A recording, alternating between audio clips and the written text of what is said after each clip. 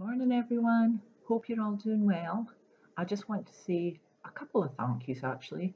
The first one for my gorgeous Donna Duck. As you will see in a minute from the photos, she's sitting in pride of place in the spotlight in our living room.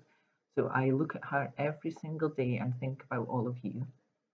And I also want to say thank you to all your grown ups that sent me some lovely photos and to Katrina for taking photos for me at the light parade. I've put a few of them together so you can see all the things I've been sent. It's been so nice to see all your happy smiling faces over Christmas. I hope Santa was really, really good to you because my goodness, you all deserve it this year.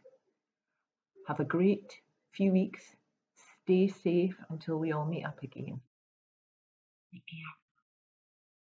Oh, and there's a couple more people wanting to pop in and say hello as well.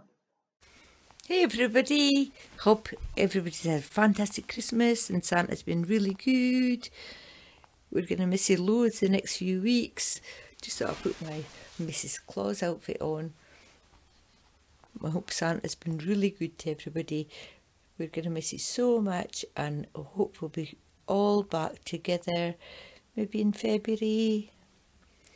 Maybe, maybe well, I, ho I hope February.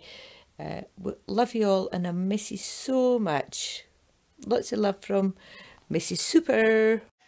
Hi everybody, Happy New Year. We're going to miss you in January, but hopefully we'll be back soon, back together soon in February. Who knows? Hope you all had a lovely Christmas and thank you very much for the duck I received. Thank you. Bye now.